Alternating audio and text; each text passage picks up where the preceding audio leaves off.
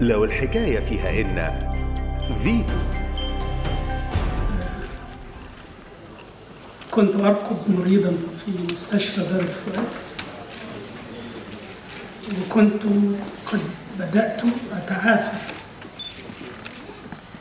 إلى أن علمت بوفاة الصديق المرحوم الفنان الكبير ممدوح الديسي ف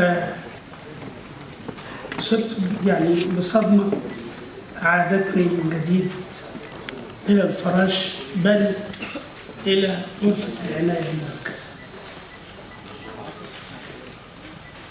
المرحوم كان من صديق بمعنى الكلمة.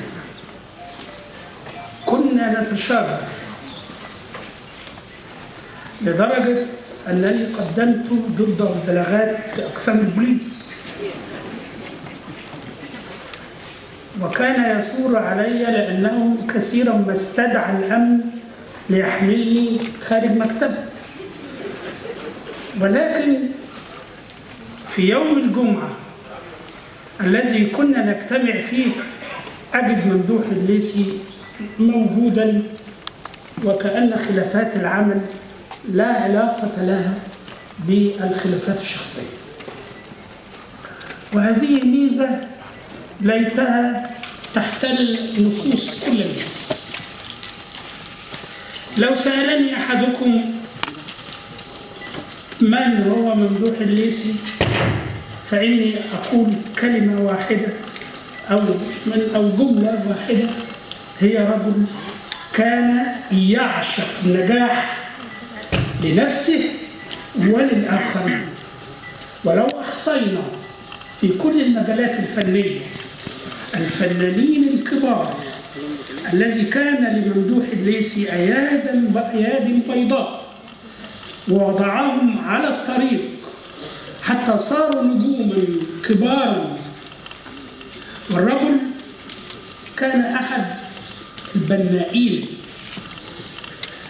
لا أذكر في أي عام بحكم ضعف الذاكرة أنني وكوكبة من رجال الدولة والفنانين وغيرهم دعينا إلى صحراء قطعة أرض صحراء قاحلة في وسطها مبنى صغير وفريق صغير يعني في حجم هذه القاعة كانت النواة الأولى للصرح العظيم الآن مدينة الإنتاج الإعلامي.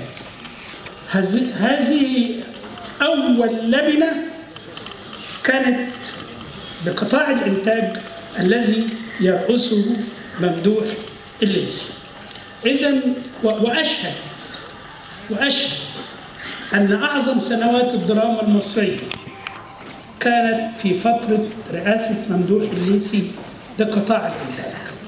وأنا في غنى أن أتحدث عن ممدوح الليثي ككاتب سيناريو لأنه أحد الرواد الذين تركوا أعمالا فنية لن ينساها المشاهد وما زالت تسري وجداننا ويتعلم منها ال- الكثير.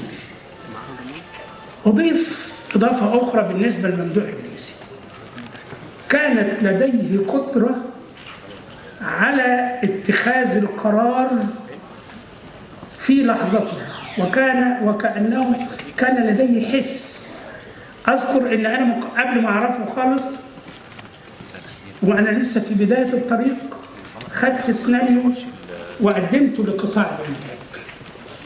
و- وهو اللي خده من إيدي وقال لي سيبه. مع إنه مش معروف وبتاع. تاني يوم مباشرة لقيت تليفون من قطاع الإنتاج تعالى قابل أستاذ ممدوح الليثي وقال لي السيناريو بتاع الفيلم ده هيتصور الأسبوع الجاي المخرج موجود أهو اقعد معاه. كان هذا السيناريو تجربة مجنونة كده كنت عملتها. فيلم سينمائي كان اسمه أنا وأنت وساعات السفر عمله الفنان يحيى الفخراني والفنانة ليلي وإخراج الأستاذ محمد نبيل القرار في 24 ساعة.